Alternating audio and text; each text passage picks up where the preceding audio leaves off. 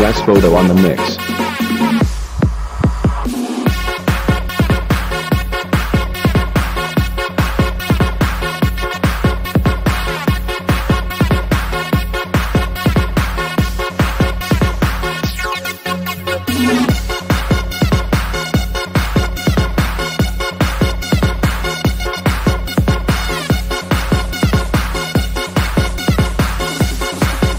West Photo on the mix.